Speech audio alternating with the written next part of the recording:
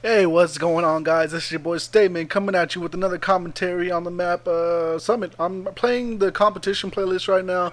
I was sniping, and I joined late in this game, and I still think I get a pretty good playlist because in this playlist, um, this is where people come to practice for like game battles and MLG and whatever else you want to think about that's competitive. Um, Deserto sometimes, I guess the EU players.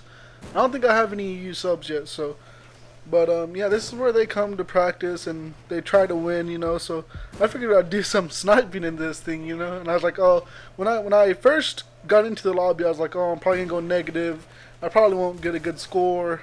And surprisingly, I got a really good score. I ended up going 17 and 5 in this game.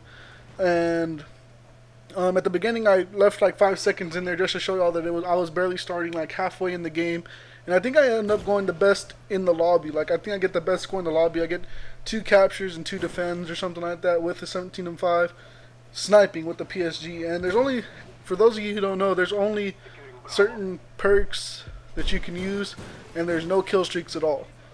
And um, so that makes it a lot more tougher. A lot of people use the FAMAS because obviously it's the most powerful gun in the game. Even after nerf, I think I'm pretty sure it's still it's still pretty overpowered. You'll see people using the AUG. The AUG, the AUG is compared to the FAMAS a lot. And yeah, I, this is going to be a really short video because since I joined late, there's only like, I think it's six and a half minutes in uh, MLG domination game. I'm not really sure. I can't remember. It's been a while since I played competitively.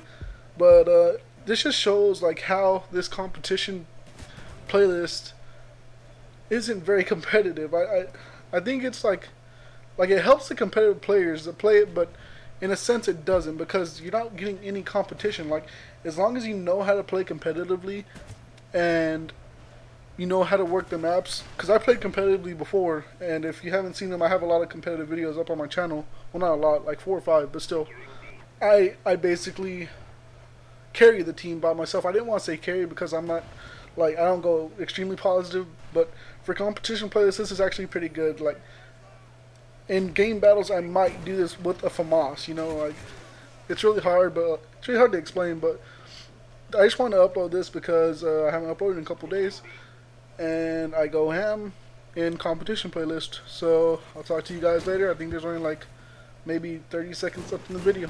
Peace.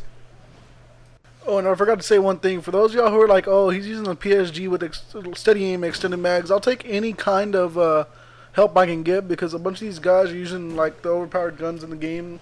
Well, not the overpowered guns, but like the stronger guns in the game, like the 74U, AK-47, AUG, and FAMAS. So that's why I was using the PSG with extended mags because I'll take any help I can get using a sniper. Since I'm already down on the, the gun, you know what I'm talking about? Like, I'm already down in a gunfight because I'm using a sniper instead of a regular gun. So th that's why I'm using these guns for those of y'all who are like, oh, he's using the most overpowered sniper. So um, I just figured I'd make that clear, and I'll talk to you guys later. Peace. Target neutralized.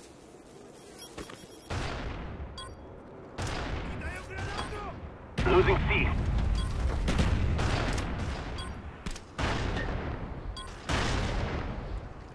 being dominated. Take those positions.